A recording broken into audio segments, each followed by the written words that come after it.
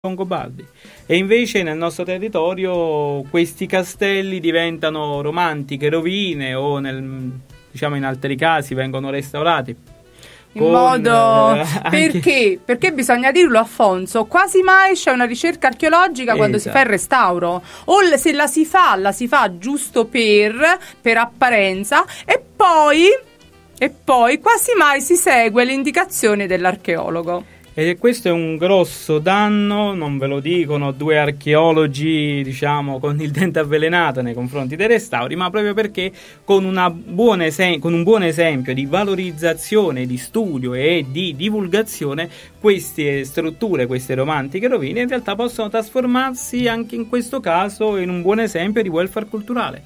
E quindi motori e veicoli di economia, di occupazione e di progresso per, per i nostri territori territori fin troppo bistrattati dalla nostra politica. Senti Alfonso, io rubo soltanto un minuto al tuo meraviglioso racconto che adesso inizierai a farci per dirti che in Irpinia a me sembra che ci sia uno sfasamento, la, ten- la, dire, la tendenza sempre a strafare. Innanzitutto non vengono quasi mai adoperati i materiali del luogo, c'è questo cotto che viene messo dappertutto, che non ci azzecca niente, questi eh, disegni geometrici e poi purtroppo quasi sempre Alfonso si sfocia nel cattivo gusto. Eh, vediamo anche quando alcuni locali, alcune taverne hanno questi nomi antichi, eccetera eccetera.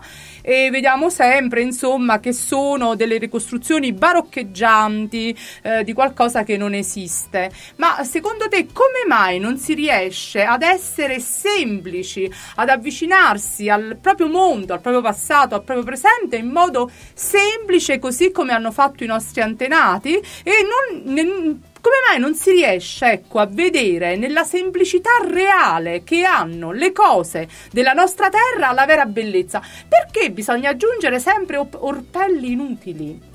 Eh, forse questo fenomeno è legato a quello che dicevamo prima, c'è una scarsa sì, conoscenza del, del, nostro territorio e, e quindi anche una scarsa, appunto, sì, una scarsa stima, una scarsa capacità anche di valorizzare. Basta vedere degli esempi, diciamo, molto più progrediti rispetto ai nostri, cioè la Toscana, l'Umbria, le Marche. E basta vedere cosa avviene in quei territori, come viene valorizzato il loro territorio in maniera estremamente semplice, appunto, come dicevi, ma in maniera estremamente, altrettanto estremamente efficace. Il turista apprezza, il cultore della materia apprezza, anche eh, non, non deve necessariamente trasformarsi il bene culturale o il il borgo storico in un parco giochi per turisti. Bravo. Ma deve trasmettere qualcosa. Il, la storia trasmette sempre qualcosa e di conseguenza anche castelli, chiese, la verità deve trasmettere. Esatto, deve, deve trasmettere la storia e quindi le radici di quel posto. Deve far capire quel posto come si è evoluto. Quindi trasformare dalla pietra al cotto o con altri elementi o aggiungere elementi in più all'interno di una struttura nata in maniera differente significa stravolgere il passato e di conseguenza poi falsificarlo. Perché gli antichi che facevano? Mm, non facevano altro che riutilizzare i materiali che trovavano nel posto, a meno che non volessero dare un valore architettonico eccezionale alla cosa e facevano importare materiali da fuori. Però bisogna dire un'altra cosa, Alfonso. Tu hai richiamato uh, l'esempio della Toscana e lì uh, c'è l'esempio uh, di Valenti e sua, del suo gruppo, che sono professori universitari vari studiosi che fanno ricerca da una vita, che hanno prima scavato minuziosamente eh, in un luogo, poi hanno fatto anni e anni di fatica per capire come funzionavano le cose, poi hanno ricostruito e adesso li ritrasmettono agli altri. Allora qual è il problema? Il problema è che spesso ognuno crede di poter fare lo storico o l'archeologo, ma per fare questo mestiere, come ogni mestiere, c'è bisogno di anni di duro lavoro, ricerca, insomma bisogna essere dei professionisti seri quindi fanno divulgazione persone che non sono in grado di farla e questo è il nostro problema qui in Campania. Spesso sì, spesso viene demandato dalla politica, ovviamente ad amici degli amici, il, eh, il, turismo o comunque viene appunto svolto da, come dicevi giustamente, da persone non qualificate. Basta prendere in considerazione come esempio eh, quel bellissimo modello dell'archeodomo di Poggi Bonzi portato avanti da Marco Valenti e la sua scuola.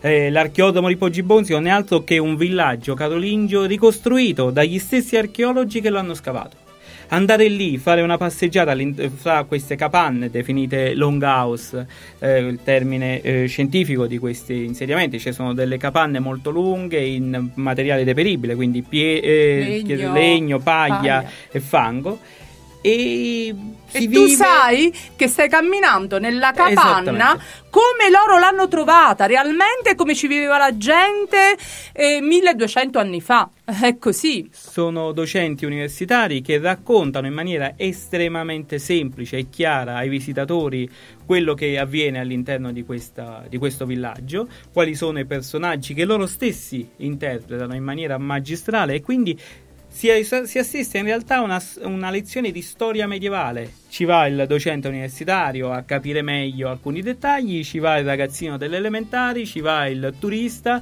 e ci va il semplice appassionato.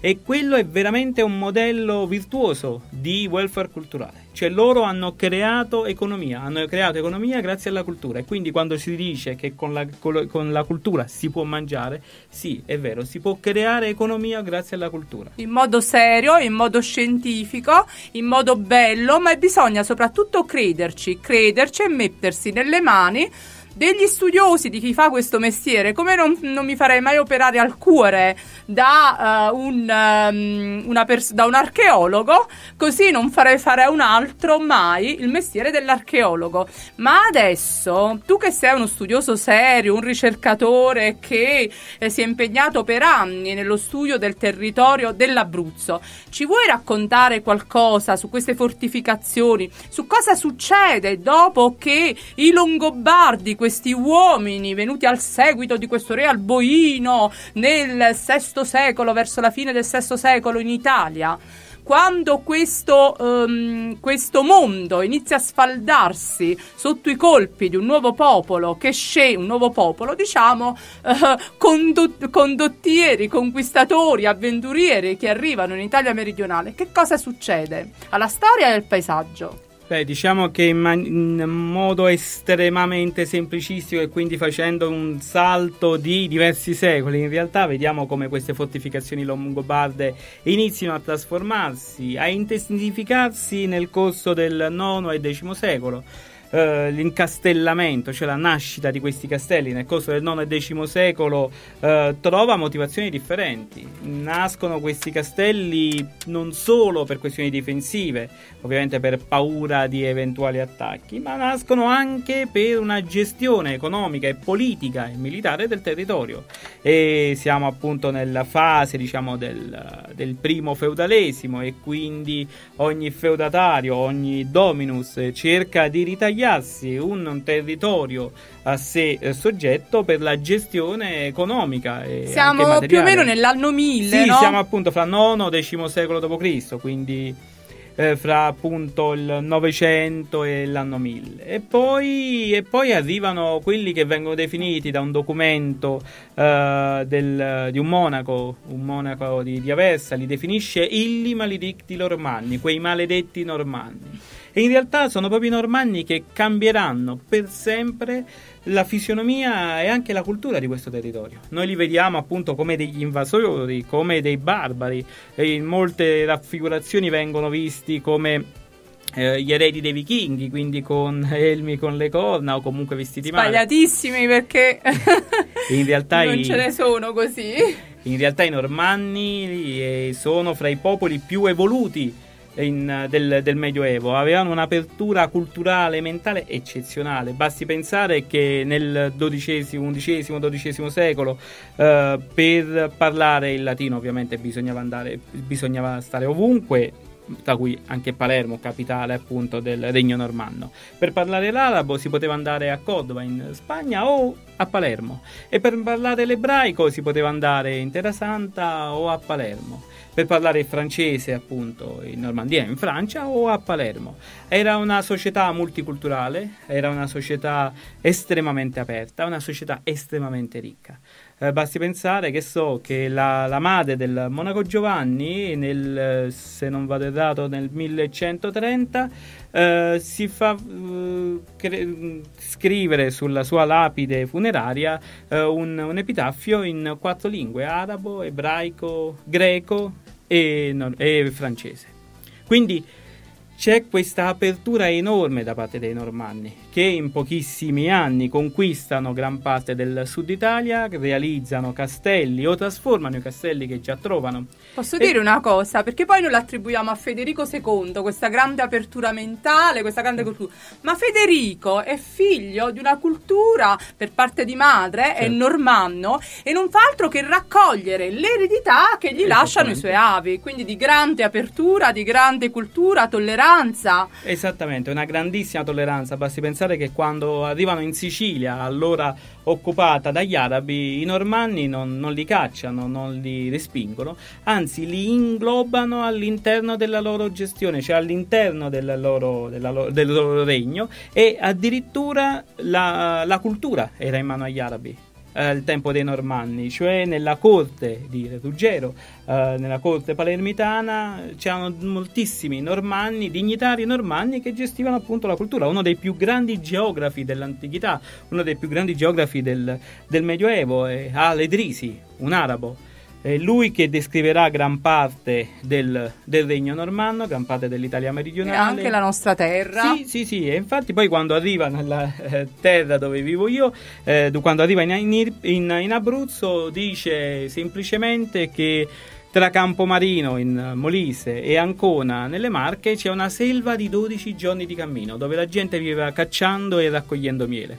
Ovviamente è un'esagerazione letteraria, ma perché lui esagera così tanto e va a descrivere queste, questa terra come un, una landa desolata di 12 giorni perché di cammino? È così diversa. È molto molto diversa, esatto, da Palermo. Questa, questa corte palermitana, basti pensare alla Cappella Palatina con dei mosaici in oro, eh, la Cuba, la Zisa, castelli urbani che addirittura avevano anche sistemi di, che potremmo definire sistemi di aria condizionata al loro interno complessi sistemi di circolazione dell'aria e di forzatura dell'aria che riusciva a, a, ad abbassare la temperatura interna all'interno del, di questi castelli di diversi gradi. Quindi avevano anche una, un'evoluzione tecnologica e culturale molto molto avanzata. La grande capacità dei normanni appunto è quella di riuscire ad assorbire e a trarre il meglio di culture diverse, le culture che loro incontrano sui territori senza pregiudizi, senza preconcetti. Questi questi uomini che partono da una terra appunto del nord, fredda, e si espandono un po' a raggiera in tutta l'Europa, in Inghilterra, Guglielmo il Conquistatore, più o meno nello stesso periodo, nel 1066 con la battaglia di Astin, la conquista e lì su quel bellissimo, c'è un lenzuolo stupendo, un arazzo bellissimo conservato a, a che la tradizione vuole, eh, fatto dalla moglie di, di questo conquistatore ricamato. Ci sono delle figure meravigliose che aiutano tantissimo anche l'archeologia, proprio nel modo in cui questi uomini costruivano eh, anche le, i loro castelli, tra virgolette, e poi arrivano in Italia meridionale. Ma prima di dare vita e struttura a questo regno che tu ci stai descrivendo in modo così mirabile, come iniziano ad insediarsi in questo territorio? Però questa cosa ce la racconti Alfonso dopo questo breve stacco musicale.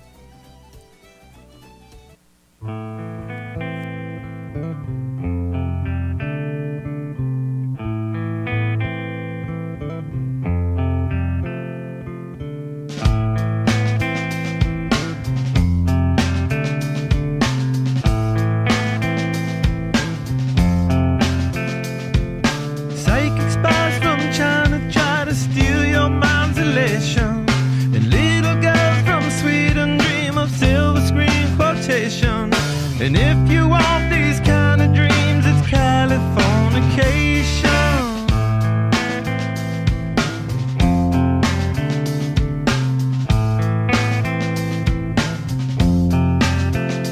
It's the edge of the world in all of Western civilization.